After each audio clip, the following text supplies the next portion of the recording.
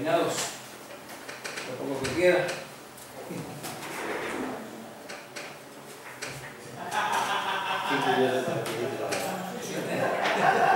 La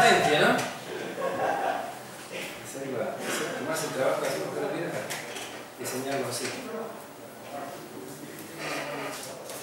¿Tenés una, a la mano un programa? Sí, señor. La batería. Sí.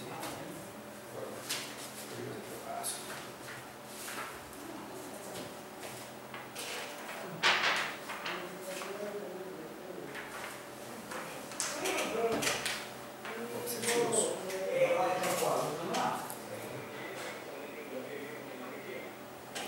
El, hay- nosotros desde el Parque de Estudio y Reflexión de la Veteranía presentamos actividades los cuatro días de la feria a la misma hora, Ah, bueno, sí. 17 horas. Arranca y mañana con un taller de experiencias guiadas. Jueves 17. Jueves 17 horas, perro, experiencias guiadas. Sí. 17, taller de trabajo con la energía interna. Ahí está por Daniel. Sí. En el VIP. En la perrón el viernes, el jueves, en, la, en el. Estamos decidiendo si el- cambiamos o no por los temas de. Bueno, Probablemente la perrona, digamos todo perrón. Digamos todos perrones por, por ahora. Claro, porque si no después me, me estás cambiando. Jueves viernes, pero el sábado es. Todos los, todos los perrones. Bueno, Yo mañana lo hago, pero en. todos los días a las 17 horas en la sala perrón. No, no es problema. En el mismo lugar no. No, porque en realidad lo que yo veo acá es que el viernes están en el VIP. En la planta alta sería del, del teatro. No. El VIP es el que está a la derecha del teatro. Ah, del tenés razón, a la derecha. Que ahora quedó Es muy lindo, muy bien armado. Sí, porque aparte tiene. Con- Ah, me gustaría, pero no. no. El, el problema Igualmente, igualmente entre, entre la Perrone y el VIP están ahí nomás, o sea que la gente. son distintas morfologías. Lo que Si pasa hay es que algún problema no podemos cambiar. necesitamos el VIP para lo que queremos hacer, el taller de proyección con ponerle 10, 15, 20 personas. Ah, muy bien. Eh, porque la idea es sentarse en redondo y demás. Pero el problema es que va, actúa Tarragó a las 19. Si a las 5 están moviendo equipo o haciendo alguna prueba de sonido, o Prueba de sonido teatro. no van a poder hacer ahora. No van a poder decir que, que pare. No. El problema con el teatro es ese, el VIP, que si te están haciendo, preparando algo en el teatro. Justo eh, arranca lo de la Aragón a 7. Sí, de todos modos él viene solo, enchufa. Que probar, pero si quieren probar justo a la final. no, ti- no tiene una posibilidad de cerrar una puerta, algo. No. No, porque hay cortinas. Ah, Son cortinas. Las que Eso separan. tiene, los teatros tienen un nombre eso, Foyer, algo así se llama. Foyer, algo así. Es un espacio donde. queda totalmente expuesto. Claro, nosotros, nosotros empezamos, pasó una vez que empezamos a estábamos las muy 5. justo con Ludovica, Sí. Pusieron la, dejaron entrar a la gente antes de la hora prevista y nosotros estábamos terminando una presentación y la gente entrando y empezaron a poner música de fondo, el murmullo fue creciendo y tuvimos que estar hablando voz alta. Eso, entonces mejor hagámoslo, tratemos de ubicar Acá tenemos mucho más tiempo. Silencio, silencio, silencio. 13 minutos pasaron de la hora 13, nos vamos preparando para el inicio de la séptima edición de la Feria del Libro. Estamos a menos de 24 horas porque mañana jueves 4 de septiembre es la cita, es el acto inaugural, se realiza por la mañana en las instalaciones del Centro Cultural y Educativo Municipal aquí de la ciudad de San Lorenzo, de calle Entre Ríos 510, Entre Ríos y San Carlos. Y obviamente nos vamos preparando, ya hemos hecho diversas propuestas, diversos talleres, dimos obviamente este espacio para que eh, los artistas, escritores, músicos, bueno, difusores culturales tengan la posibilidad de invitar a la gente. En este caso, eh, actividades que van a estar todos los días a la misma hora dentro de este complejo cultural. Nos acompaña Gabriel Gómez Fiori y también Daniel León. Ambos buen mediodía, ¿cómo están? Muy bien, gracias. En la previa de este gran acontecimiento y esperado sobre todo, Gabriel, ¿no? Así es, Lucas. Hola a toda la audiencia. Primero que nada, muchísimas gracias a la Televisión Regional, al Pachi y a todo el equipo que nos está viendo detrás, de cámaras, a vos, porque se han portado de maravilla otro año más, nos han cedido prácticamente casi todas las semanas, hace tres semanas que estamos molestando, viniendo a alguien de la feria siempre anda por acá, así que muchísimas gracias. Y también a todos los colegas de prensa que nos han dado la mano que pudieron. Bueno, como decías, mañana jueves 4 a las 9.30 de la mañana se está convocado el acto inaugural, que es mucho más que discursos, hay actuaciones artísticas, va a estar muy lindo. Tenemos contratado los cuatro días con buen tiempo, así que no quiero que nadie haga bromas de, de, de, que va a llover y esas cosas. No, igualmente eh, es bajo techo. O sea, la intención es que se realice de la mejor manera en, este espacio cubierto. El, acto inaugural queremos hacerlo en la puerta de entrada, justamente. Pero es importante aclarar esto que dijiste. Todo lo que se hace en la feria se hace dentro del centro cultural. El centro cultural es muy grande, dos teatros, varias salas, un patio enorme donde está la exposición con las editoriales, las librerías todo es, eh, cubierto, climatizado si hiciera falta, pero el clima que vemos está muy bien, así que esto lo aclaro porque usted que nos está viendo del otro lado, si ve que está chispeando, que no sé, hizo frío de golpe, no se preocupe, venga al Centro Cultural Municipal de San Lorenzo, que gentilmente cede la municipalidad, que agradecemos a su intendente Raimundo eh, por esto y a todo el cuerpo municipal que nos ayuda. Todo sucede bajo techo, tranquilo, cómodo porque hay grandes espacios disponibles, como está el Teatro de la Ciudad, la Sala Perrone. Hablando de la Sala Perrone, ahí vamos a estar varios días con, con Daniel. ¿Y la misma hora? A las 17 horas. Para mañana, ¿qué es lo que tienen eh, previsto realizar? Bueno, me toca, en este caso, no sé si sabías, pero estoy en la organización de la feria. Ahora, salgo un poquito de ahí, hablo de mi participación como investigador dentro del Parque de Estudio y Reflexión Carcaranía. Un parque de estudio que tiene que ver con los temas importantes de la vida, que está muy cerquita en Lucio B. López, por ruta 34, kilómetro 35.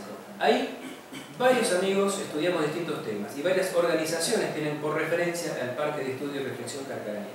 En mi caso, que participo en la Comunidad para el Desarrollo Humano, desde ahí mañana hacemos un taller de experiencias guiadas en base a este libro, que también va a estar disponible, Experiencias guiadas. Es un libro de Silo, Mario Rodríguez Cobos, Silo y es la particularidad que tienen estas experiencias guiadas, que son relatos escritos en eh, primera persona del lector o del oyente en este caso.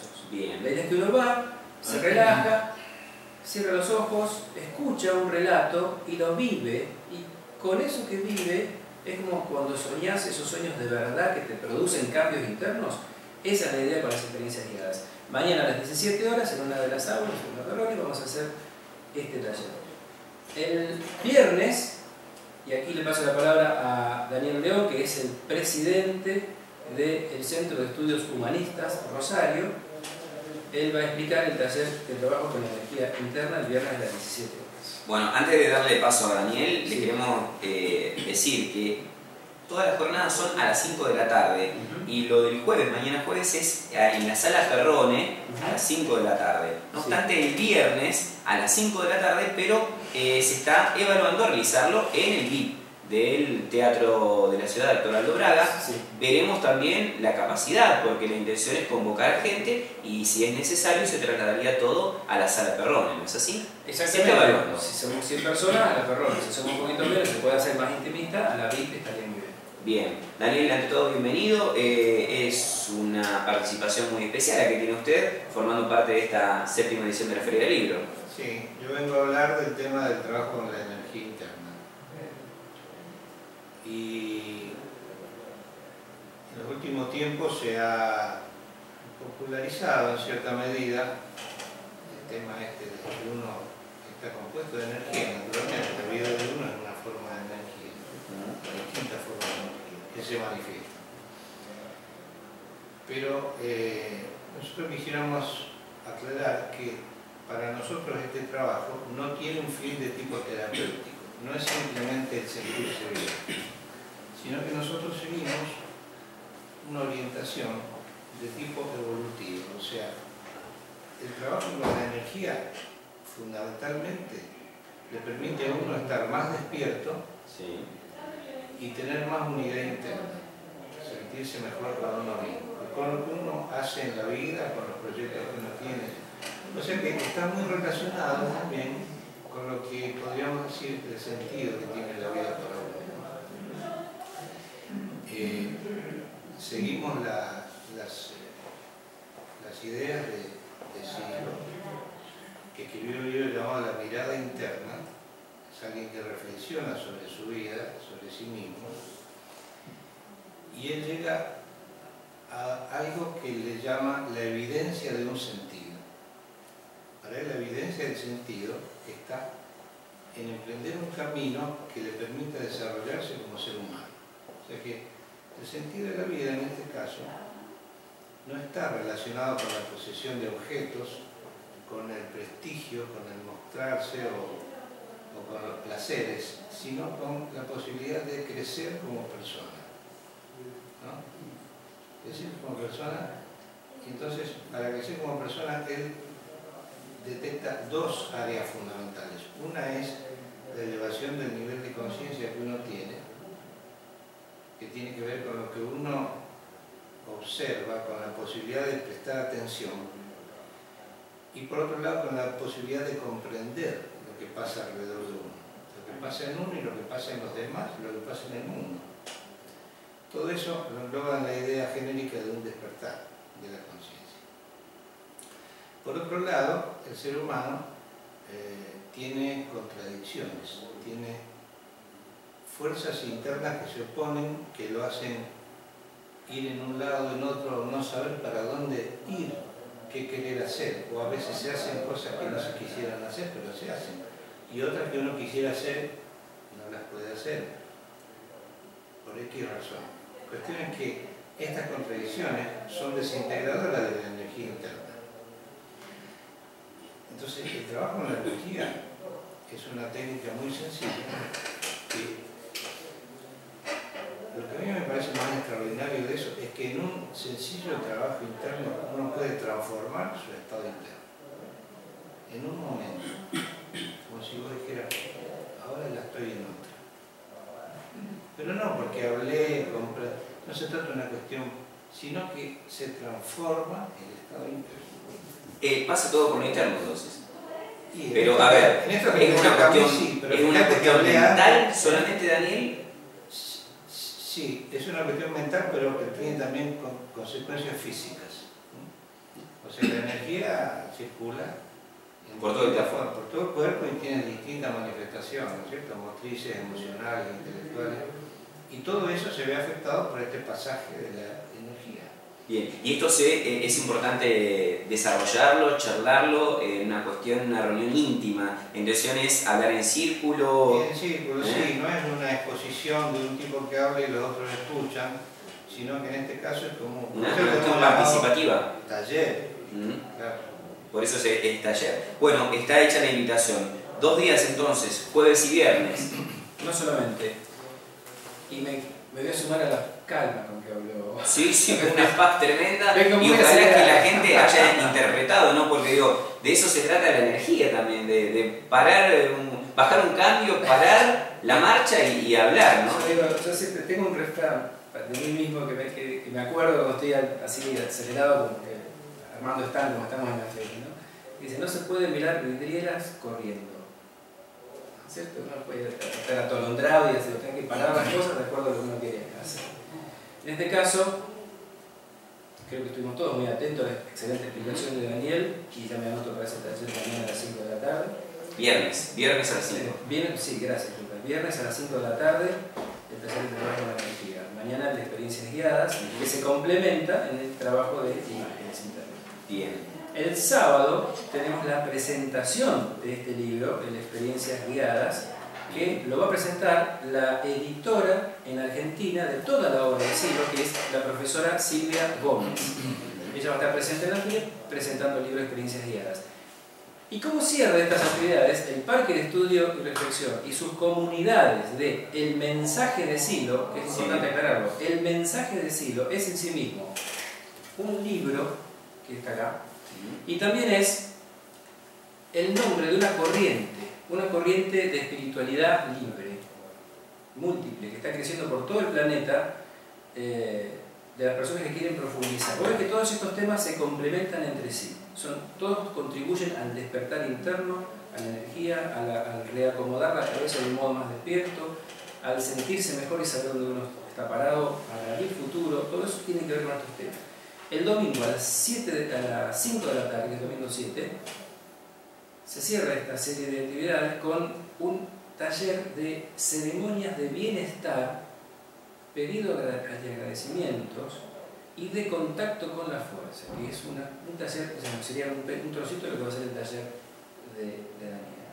Así que aquellos que quieran, que les gusta esta temática, los cuatro días tienen actividades relacionadas al mundo interno y al despertar, a las 5 de la tarde, y tenemos un stand que se llama Parque de Estudio y Reflexión Carcarañá, que es el stand 21 dentro de la Feria del Libro, para el que quiera charlar, que quiera buscar libros, que quiera ver los videos que vamos a estar pasando ahí. Así que todos invitados a la feria en, en general y en este caso a estas actividades. Gracias Gabriel, gracias Daniel por estar este mediodía. Déjame pasar un chivo más. La sí. Feria del Libro tiene un sitio web que se llama www.feriadellibrosl.com.ar Es el lector de cámara que escribe, fantástico. www.feriadellibrosl.com.ar También estamos en Facebook y ahí en, en, la web encuentran el programa completo con todos los detalles. Vale, muchas gracias. No, por favor.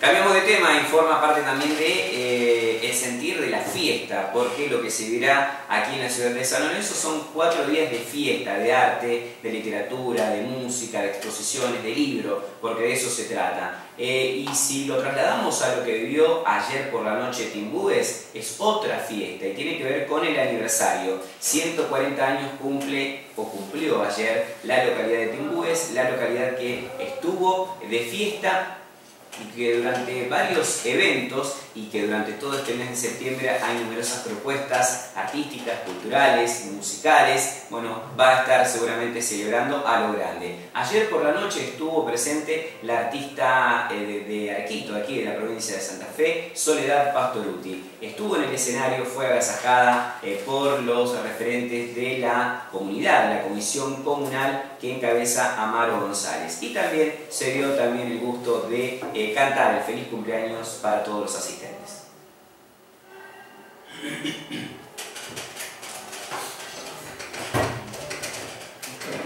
Listo. Daniel, un gusto, éxitos. Gracias, disculpad, mucho tiempo. No, no hay problema. Te dejo los materiales. Dale, buenísimo.